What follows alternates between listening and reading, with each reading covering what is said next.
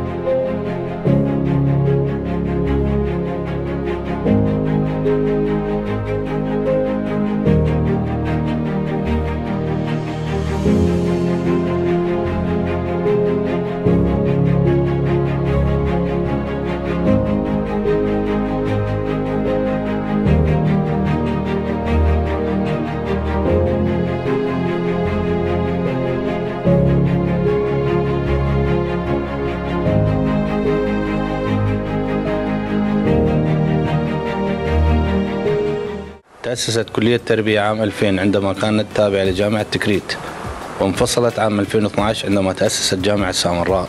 تحتوي كلية التربية على تسعة أقسام آه، متنوعة علمية وإنسانية فيها دراستين صباحية ومسائية. تحتوي كلية التربية على تسعة أقسام مثل ما قلت لكم قسم علوم القرآن آه، قسم العربي قسم اللغة الإنجليزية قسم علوم الحياة قسم الكيمياء قسم الفيزياء قسم العلوم التربوية والنفسية قسم الجغرافيا قسم التاريخ. الأقسام التي فيها دراسات عليا هي قسم اللغة العربية قسم علوم القرآن قسم التاريخ قسم الجغرافيا آه، قسم علوم الحياة قسم الكيمياء. وأيضا قسم اللغة الإنجليزية إن شاء الله في العام المقبل. آه، أيضا استحدثت آه، دراسة بجهود السيد رئيس الجامعة للعام القادم إن شاء الله.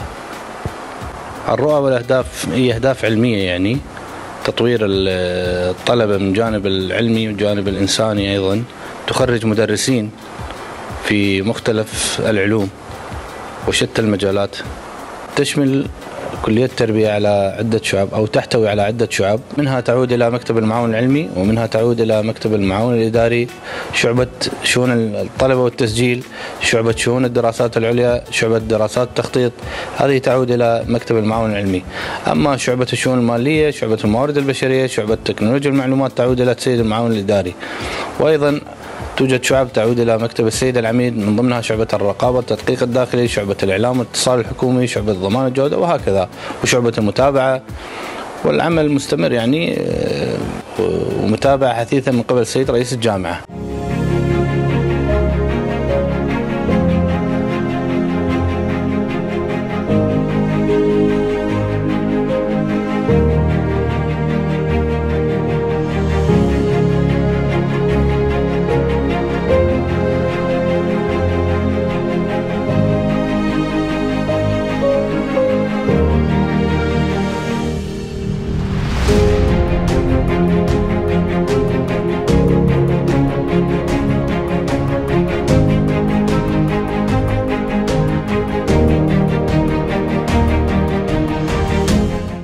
دور شعبة التسجيل استقبال الطلبة تسجيلهم وتوزيعهم على الأقسام المعنية حسب خطط القبول المعمول بها. أقسام كليتنا هي تسعة أقسام. العلوم التربوية استعدت للعام الدراسي الحالي. فيما يخص قسم اللغة الإنجليزية فإن معدل القبول للعام العام الدراسي السابق هو الفرع الأدبي هو 81 الفرع العلمي 84 ويكون تقديمهم مركزيا عن طريق الانسيابية. فيما يخص التسجيل ودورهم دورهم الأساسي إنه للطالب الطالب نعطيه تأييد استمرارية من شعبة التسجيل يصدر أوامر التأجيل أوامر ترقين القيد والأوامر الإدارية بالتخرج مالتهم.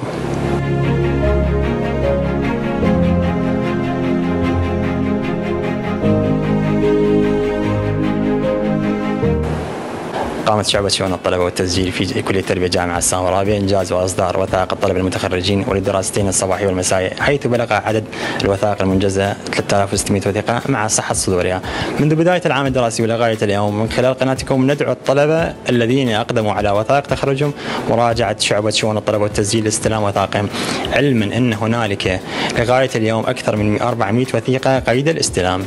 عدد الطلبة الخريجين الأعوام الدراسية كافة منذ تأسيس الكلية ولغاية العام الدراسي 22 23 آه، عددهم 7521 طالب للدراستين الصباحية والمسائية وموزعين على كافة الأقسام اللي هي ثمان أقسام. من خلال قناتكم ندعو طلبتنا الأعزاء خريجي الدراسة الإعدادية بفرعيها الأدبي والعلمي الاسراع بتسجيلهم على الدراسة المسائية وعلما أن الحد الأدنى للقبول في كليتنا هو معدل 57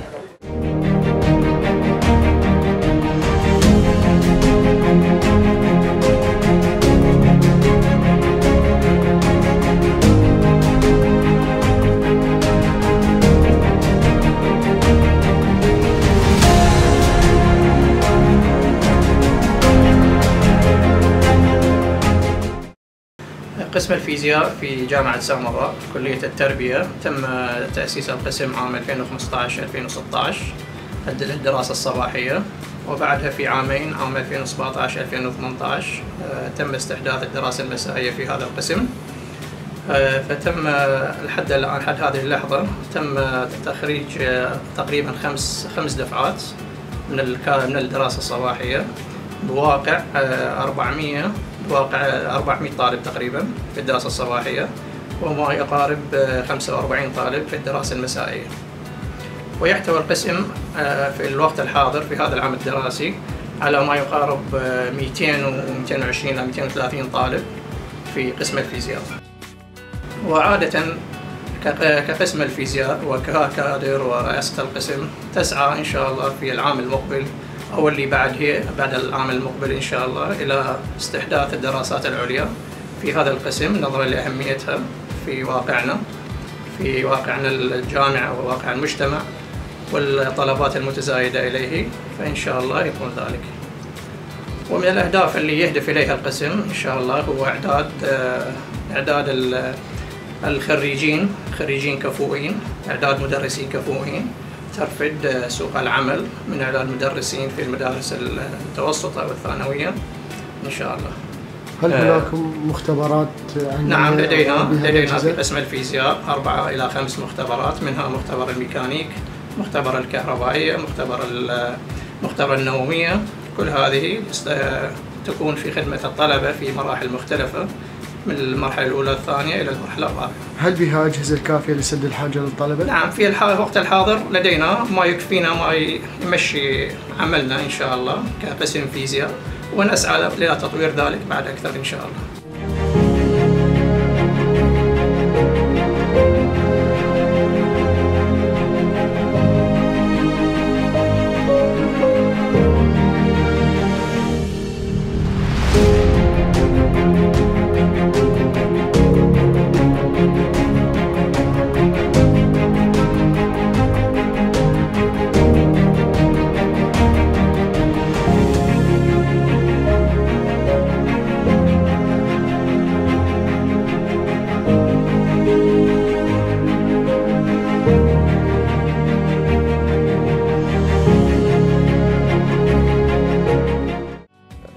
التاريخ آه، في كلية التربية جامعة سامراء آه، تم إنشاءه عام 2000 مع آه، استحداث كلية التربية. بالحقيقة اللي هي كانت إحدى كليات جامعة تكريت بادئ ذي بدء وبعدين بعد استحداث جامعة سامراء في عام 2012 استقلت كلية التربية ضمن كادر جامعة سامراء.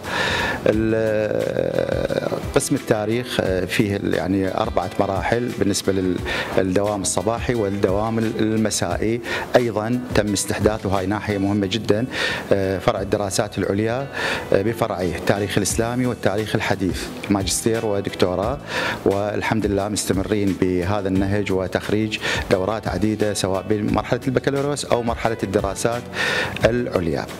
يعني آه، من أهداف قسم التاريخ والرؤى حقيقة اللي اللي نتوخاها من بهذا الجانب هو موضوع تعريف الجيل الجديد بأهمية دراسة التاريخ ومنهج التاريخ وأيضا وضع رؤى محددة لهذا الجيل لمعرفة تاريخه الوطني أولا بادئ ذي بدء وتاريخ محيط العربي والإقليمي والتاريخ الدولي سيما إذا ما أخذنا بنظر الاعتبار التطورات الهائلة سواء منها السياسية أو التاريخية اللي تشهدها الساحة الدولية وأن أن يكون طلاب الدراسات التاريخية ملمين بكل هذه التطورات وربطها بأحداث الماضي الماضي عفوا باعتبار أنه التاريخ هو سياسة ماضية التاريخ هو سياسة ماضية وبالتالي آه، طالب التاريخ مطلوب منه أن يربط الأحداث ويوازن في عملية تحليل الموضوع البناء للخروج بنتائج آه، جيدة في هذا التخصص.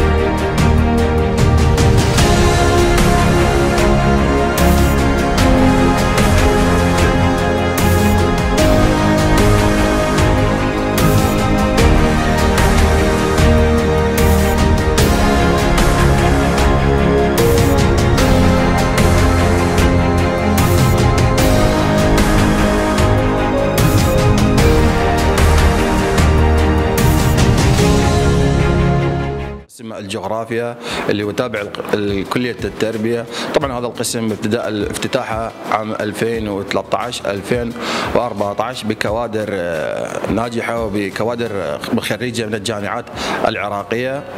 طبعا آه، بعد 2013 2014 باشرنا بالعمل وبالتدريس. بعد هذا تم إخراج عندنا دفعتين. من صار عندنا إخراج دفعتين يكون حق للقسم إذا كان عنده كادر أو آه، كان عنده ألقاب علمية من الحق أن يفتح دراسات عليا. والحمد لله فتحنا دراسات عليا في عام 2019 و2020 وأخرجنا عدد يعني خريجين من هذه الدراسات. الآن الحمد لله نحن مقبلون على فتح الدكتوراه. طبعا آه، القسم آه، الحمد لله قاعاته متكاملة. عندنا قاعات للمرحلة الأولى قاعة للمرحلة الثانية المرحلة الثالثة المرحلة الرابعة. عدد الطلبة بالدراسات الأولية بما يقارب 250 طالب. بالإضافة إلى المسائي بما يقارب 150 طالب آخر. الماجستير طبعا اللي تخرجوا لحد هذه اللحظة بما يقارب 45 طالب. والآن الآن اللي هم تحت البحثية وتحت التحضيرية بما يقارب 35 طالب. طبعا العمل بقسم الجغرافيا يحتاج إلى ورش يحتاج إلى ندوات. طبعا هذا كله إحنا نوكله إلى اللجنة العلمية. اللجنة العلمية إحنا عندنا مجموعة أعضاء في داخل القسم يقررون المواد اللي تدرس ويقررون آلية العمل في داخل القسم. طبعا أيضا بالإضافة إلى اللجنة العلمية عندنا مقرريه للدراسات العليا تهتم بأمور حضور الطلبة تهتم برفع والواردة من العمادة. أيضا عندنا مقرريه للدراسات العليا أيضا تهتم بمتابعة الطلبة ومتابعة بحوثهم ونسبة الإنجاز. أيضا إحنا نعكس الصورة أو نكون إحنا الصورة اللي تبغيها العمادة من حيث المجموعة الدافعين الأقساط أو غير دافعين القسط فهذا اللي إحنا موجود عندنا في قسم الجغرافيا. والله الحمد لله يعني كان العدد هائل ومن مختلف الجامعات الجنوبية من مختلف المحافظات الجنوبية والمحافظات الشمالية بالإضافة إلى آه، طلبة مدينة سامراء.